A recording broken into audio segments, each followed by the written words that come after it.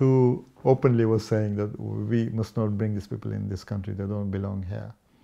Uh, there'll be race riots and rivers of blood and all those speeches being made by Mr. Powell. They say rivers, rivers of a river of blood. So it really, we really got scared and I said, look, here's British people, they don't want us there. We can't go back to India. Where will we go? We eventually on the Caledonian Airways who brought us to Stansted Airport. And we were coming down and, and my father was cold and he said, have I ever got malaria? because we were shivering coming down. Uh, but we came down and we were in fact very warmly welcomed by the NGO. They held our hands and they brought, brought us down the plane and took us to a center where they had gathered all the warm clothing. And you can, I told you about the fear which we had before, where our next bill is going to come from, how we're going to deal with the National Front and all the elements of so many hysteria against us in the country where we are not wanted. And uh, no other country wanted to have us anyway. We came down and we were taken to a center where we were given warm clothing, which is first week in November, and we were the last ones to leave Uganda. And uh, we were taken by a bus to uh, Linfield camp, which is in Surrey, think. Linfield camp, yes, Surrey.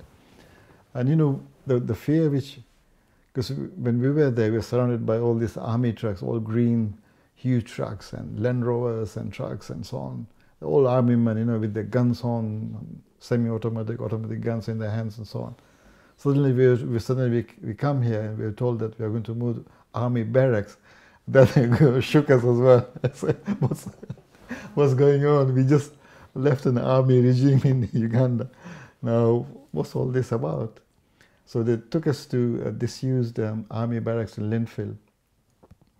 And, uh, you know, they, they had this huge uh, halls where, you know, there be so many beds, you know, laid out for very clean, neat and tidy. But we had to sleep in, in a huge room uh, full of beds. Uh, uh, and there's just one or two toilets um, in, in, the corridor after in, in the corridor there. So we, we, we became used to that, and we, as I said, NGOs treated us very well. Uh, we started having good breakfast, you know, with cornflakes and Weetabix and whatever we given. And uh, the problem after that was, you know, the food, because, you know, we were not, especially my parents, were not used to the, the Western food, especially the English food, which actually didn't taste anything. He saw this white man sweeping the roads, and he said, Jaffer, you know, there's a white man sweeping the road. How can this possibly be?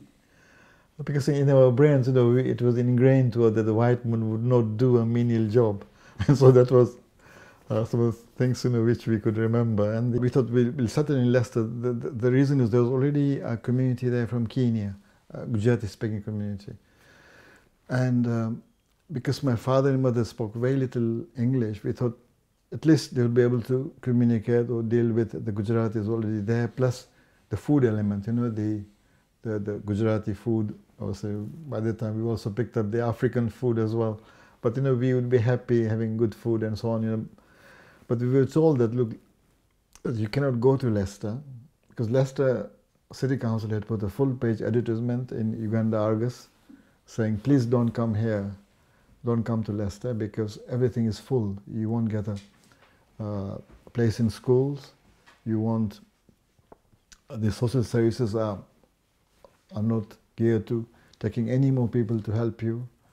And uh, please don't come to Leicester. There's a full page advertisement there.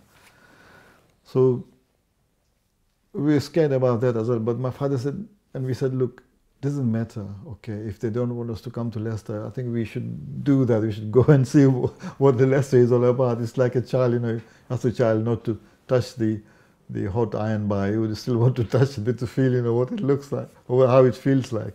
So anyway, he said, no, no, we'll, we'll, we'll go to Leicester. But through a network in Leicester, through friends, uh, we were able to allocate a house uh, which we could rent.